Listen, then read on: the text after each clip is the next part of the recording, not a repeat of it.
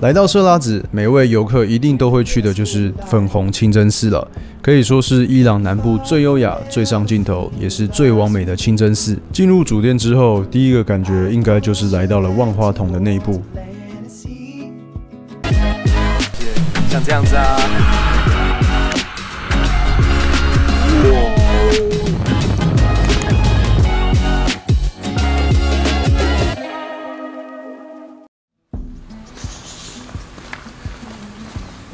有各位早安，现在是今天几号？今天几月几号了？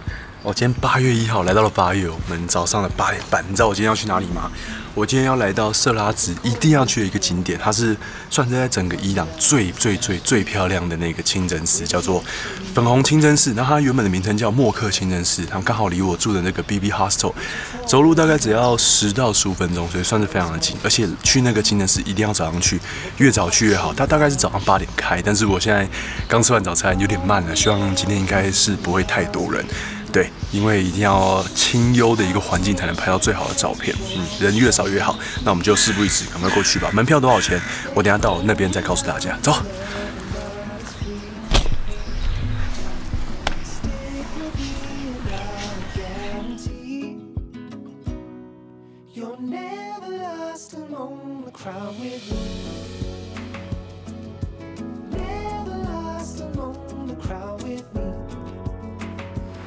那在走去清真寺的过程当中呢，我来跟大家讲一下，就是很多人问我说，来到伊朗啊，就网络这个有没有问题？这边网速会不会特别慢？其实不会哦。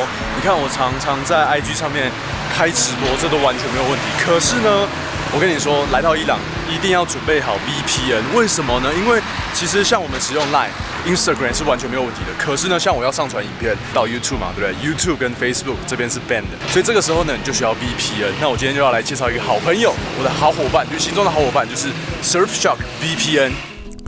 我想应该很多人都不知道，来到伊朗需要使用 VPN 吧？VPN 虚拟私人网络，主要功能是把你的网际网络连线加密，保护隐私，保护你的 IP 位置免于遭受钓鱼网站或是骇客入侵。让你在全世界都能安全的下载重要文件，在九十五个国家有超过三千两百台的伺服器，重点只需要一个账号就能在所有平台上面使用。实测连线速度，按下去只需要三秒即可连线，这样我就能在动辄搭车要六个小时的伊朗，安心的看 Netflix，还有上传影片到 YouTube 啦。到影片下面连接，输入我的专属折扣码 Ben Wu，就可以获得一七折扣的超级优惠和三个月的免费试用。有了 Surfshark VPN，大家就可以继续观看我在伊朗的冒险影片啦。就是啊，各位，有时候你会看到很多人在这边排队，在这间店家外面等，他们等的就是等新鲜的面包出炉。OK，点那个 Sam Jack。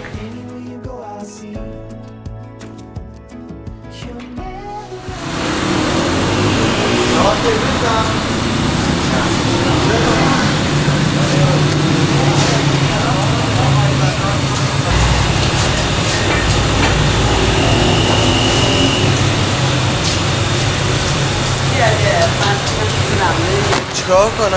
半斤两的六十。嗯，我在哪里？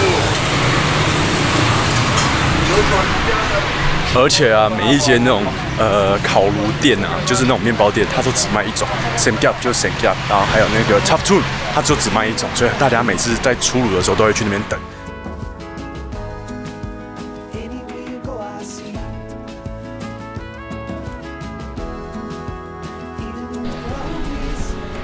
好了，前面就是 Pink Mosque，粉红清真寺。它看起来非常的不起眼，对不对？但是进去呢，我跟你说，绝对惊掉你的下巴。来到色拉子，每位游客一定都会去的就是粉红清真寺了，可以说是伊朗南部最优雅、最上镜头，也是最完美的清真寺。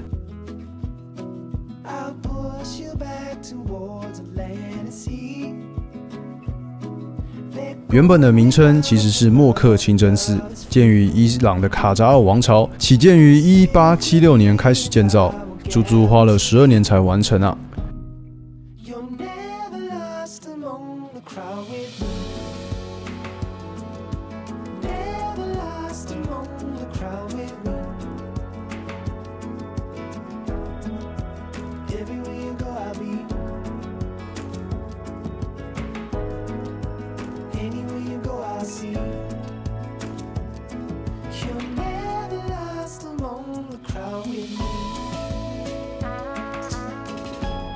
来粉红清真寺一定要早上来，越早越好，最好是一开门就进来，那个阳光洒在彩色的玻璃窗花上，再用波斯地毯当做背景，那个画面堪称一绝。好，我来跟大家说，这边是不能带相机进来的，所以我现在只能用我的 Insta 三六零 One RS，我转过来给大家看，嗯，很漂亮，真的很漂亮。那个还好今天有阳光，我以为早上出来是没有太阳的，殊不知刚八点半的时候马上出太阳。很漂亮的地方。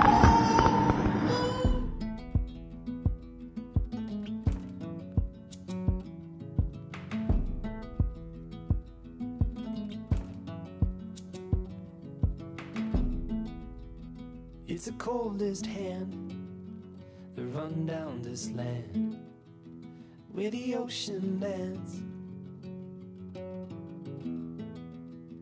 It's the tallest sound the damn smallest crowd. But their hearts break loud. Far from ever feeling lost with me.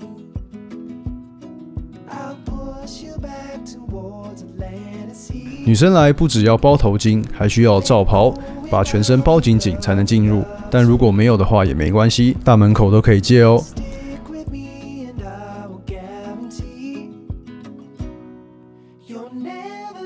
那你知道来到这边还有什么东西要拍吗？就是你必须要站在那个彩色玻璃旁边，然后让那个颜色洒在你的脸上，就像这样子，就找个好地方。基本基本上只要靠到这边就对了，然后就是这种感觉，这种浪漫的感觉，然后寻找各式各样的颜色在你脸上。对，我不知道拍我讲起来可能没有没有很浪漫，可是女生来这边拍照的话很漂亮。其实两边都可以。像这样子变。十九世纪的波斯帝国开始受到西方各国的影响，原本伊斯兰图腾的瓷砖越来越稀少，改成从欧洲进口的瓷砖。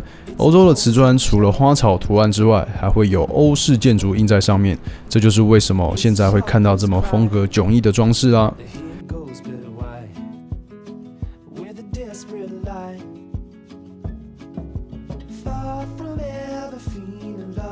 这就是粉红清真寺的外面，基本上外面是没有什么看头的，除了这些瓷砖之外，OK，但大部分的人还是都去里面拍拍照。好了，那我现在已经从这个粉红清真寺、默克清真寺出来了。我觉得这边也得跟大家好好的聊一下在里面的感觉，因为其实我一进去我就知道它不能用相机拍嘛，那我就把我相机收起来。那它其实外面没有写，但是他那个工作人员跟我说，OK，那我就乖乖的把我的呃单眼，然后还有麦克风把它收起来。那我想说里面应该是可以用。呃，手机拍，他说对，只能用手机。好，那我进到里面开始拍了以后，当然前面那一段我是用那个 Insta 三六零 One RS，就是因为为什么呢？因为我看到有另外一个印度小哥，就我前面给大家看，我帮他拍了很多照，拍完以后阳光就没了。那个印度小哥，因为他从头到尾在里面都是用那个 GoPro，然后带麦克风一直拍拍拍拍拍，然后从头到尾都没有人制止他。OK，那所以我也结果拿出我的运动相机拍，就拍一拍呢。我走到外面的时候，竟然他说不行，我说哈。我傻眼，我就想他，他前面拍那么久，你们没看到，你们已经看，你们一定看到了，但是却没有制止他。那为什么要制止我？好，这就算了。那我在等阳光的时候，我又进去了那个大厅，准备拍那个彩色窗花的时候，我靠，我看到有个女生，她竟然拿单眼，她可以拿单眼在那边拍，然后也是完全没有人制止。那我就是被针对，我是傻眼，我的相机不能拿，这就 OK。他没有说，但是我看到里面有人拿相机，又有拿呃运动相机的。那我想，为什么要针对我？害我很有点不是很滋味。害我觉得不是滋味，然后我就好，那反正我拍到我要，然后我就快出来，不要在里面就是惹是生非，你知道吗？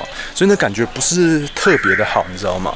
我也是有遵守他们的规矩，那他们也没说 GoPro 不能拍，因为我看到有人拿，所以我才拿出来拍了嘛，对不对？唉，所以就是比较可惜啦，因为我还带了我的脚架大脚架过来，殊不知里面竟然没办法拍，那。可能画面就没办法拍到我想要的那么多，而且这样今天的天气不是那么好，所以就 啊，对这个粉红青的是有点的感想有点大打折扣。但我觉得你来到色拉子还是要来了，花一百块台币，然后选一个大太阳的时候的早上，你就可以拍到非常漂亮的照片。OK，啊，那我要先回我的青年旅社放我的脚架，然后再去下一个景点，好吧？这个 feeling 有点不好啊。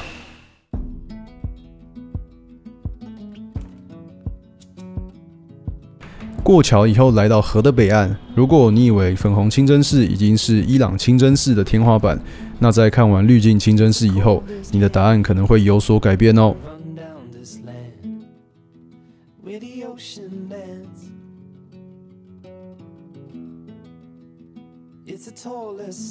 好，那我现在过桥了，就是来到了河的北岸。那这边呢，就是叫滤镜清真寺，也是一个很漂亮的地方。那这边是有在使用的那个呃清真寺，所以我们进去要保持一个比较虔诚的心态。OK，我们前面几个都比较像是博物馆，那这边的话就是后面那个圆顶有没有？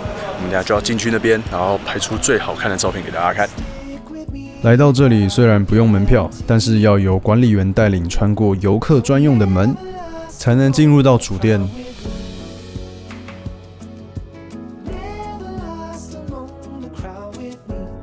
进入主殿之后，第一个感觉应该就是来到了万花筒的内部。之前看过的镜厅根本小巫见大巫了。滤镜清真寺始建于一千两百多年前，曾因地震而遭到破坏，所以现在大家看到的清真寺则是建于十九世纪末期。内部铺满了绿色的镜子，闪闪发亮，好像身处一个超现实的梦境。很多人会把光明王之墓跟滤镜清真寺搞混，但其实光明王之墓不是采用绿色的镜子，而是一般的镜子。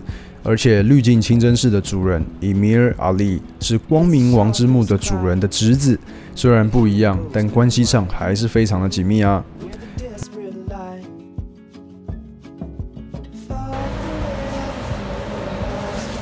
这绝对是我在伊朗看过最最最最 fancy、最 bling 清真寺了，其实真的太壮观了。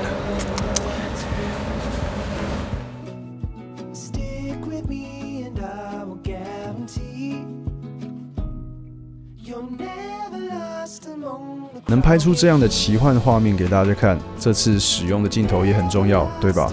这颗 Olympus 八二五 f 四点零等效十六五五焦距的镜头，画质很好不说，抗鬼影也抗光斑，在十六广角端时也不会有过度拉伸的现象发生，在这样的大场面搬出来，绝对不让你落亏。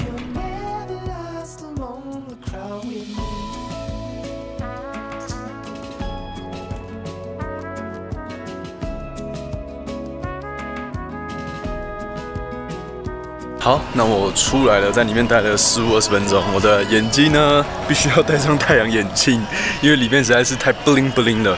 那其实你一进来哈，我觉得他们这边很棒，免费就算了。它里面有一个算是管理这边的一个。伊朗人，他英文很好，那你有任何问题都可以直接问他。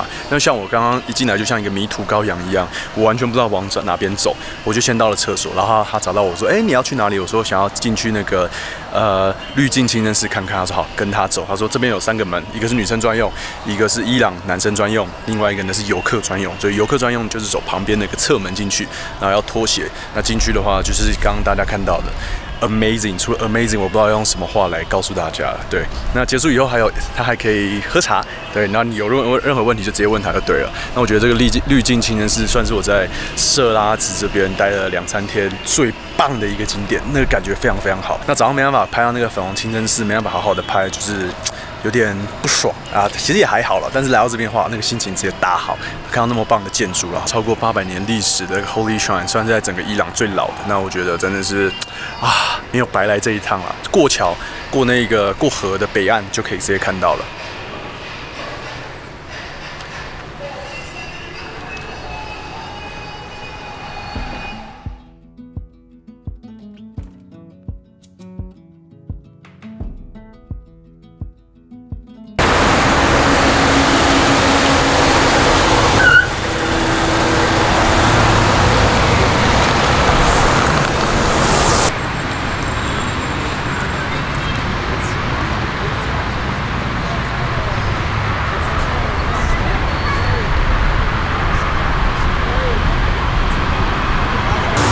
啊，那我刚刚从那个滤镜清真寺走了半个小时，来到了这个古兰经门。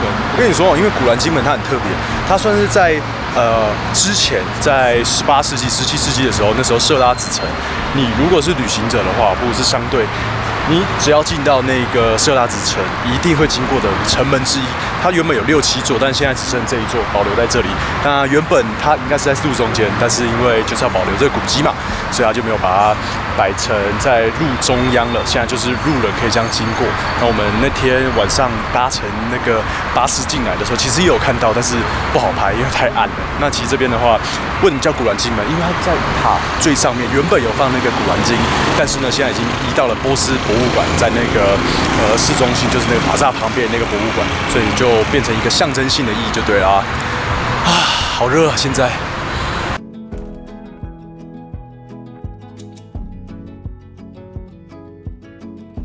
去了那么多地方，要来吃饭啦。这间餐厅你各位一定有看过，一定有听过，因为它就是博朗咖啡的伊朗分店呐。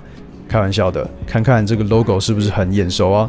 但我跟你说，这 logo 其实是被盗用的。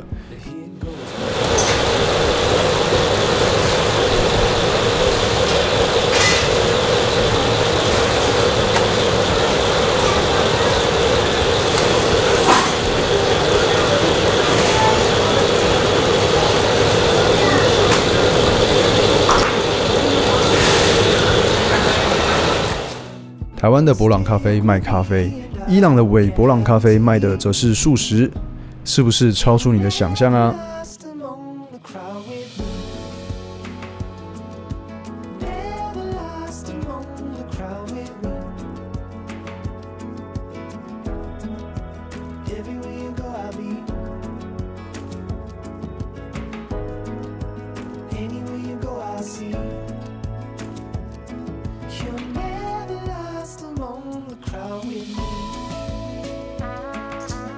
好啦，那给大家看一下我的汉堡，这么大，这个是双层牛肉的，OK，可以吧？这个是完全，嗯，好吃。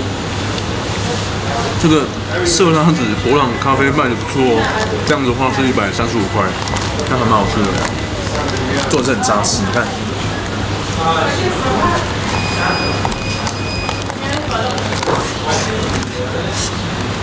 嗯，也越吃越刷水，嗯，还有满满的香菜，赞呐！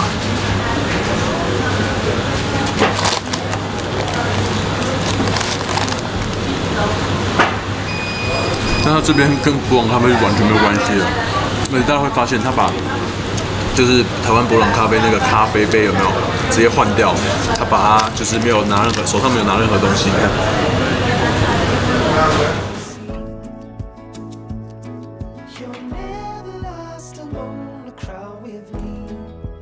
好了，那吃完这个伊朗版的博朗咖啡呢？哎，我认真觉得我现在超级饱。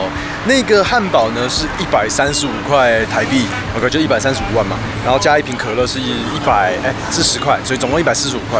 然后没有薯条，就跟我们台湾吃到的素食不一样。可是呢，饱足感超级大，因为它里面非常扎实，而且它竟然加了香菜。我第一次吃到汉堡里面有加香菜，双层牛肉，然后再加上什么双黄瓜。番茄、生菜跟香菜，我觉得哦，这个一百四一百三十五块呢，我是可以接受了，因为代表我大概晚上也不用吃了，因为真的太饱了。但是这一间真的是侵权，侵权到一个难以附加一个地步了。他他就只有把台湾的博朗咖啡的那个右手。拿着咖啡杯把它拿掉，原本是有烤串，但现在有把它更新的一个版本。但我觉得这还蛮好玩的，能在伊朗吃到卖汉堡的博朗咖啡，我觉得也是此生难得的机会啦。OK，那吃完中餐我们要回去休息一下了。那等一下呢要拍什么我也不知道，搞不好这个就是影片的最后了。那明天呢要去哪里？明天要去来到色拉子，一定要去的一个地方——波斯波利斯。OK，是由那个大流士。